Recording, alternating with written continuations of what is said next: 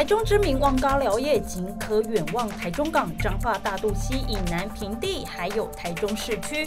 另一头还有打卡热点蓝色公路，这些景点通通免费，但小心被征收过路费。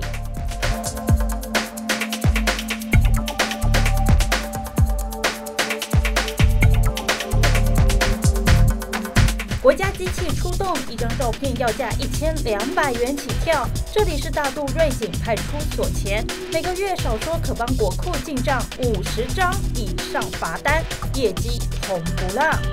日前有网友在 D 卡分享，经过该路段直接被闪光，回头看才发现有警察将测速照相机放在电箱后头，若没仔细看，根本不会发现有测速照相。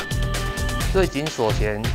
位于游园路一段，因该处接近望高寮及蓝色公路，夜间常有少年经过，易发生交通事故。警方于去年起有在本路段实施测照，请经过民众注意速限为五十，小心慢行。网友反映，虽然在测速相机前三百公尺有设立警示，但被树枝挡住，加上夜色昏暗，根本不会注意。而测速相机位置还刻意摆放在电箱后头，质疑难道是年底到了，警察缺业绩吗？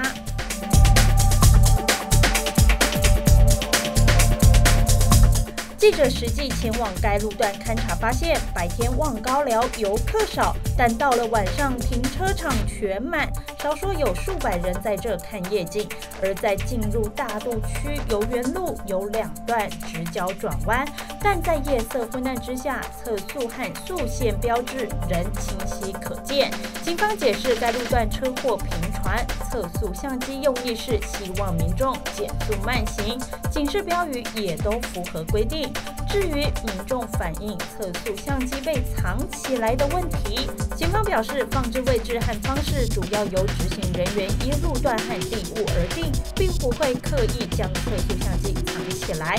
从二零一九年十月起，该路段实施测速照相后，每月取缔约五十件，大多是外地游客违规被拍。警方呼吁，不管有无测速照相，希望民众都能以平安驾驶，不要抢快。地方中心台中报道。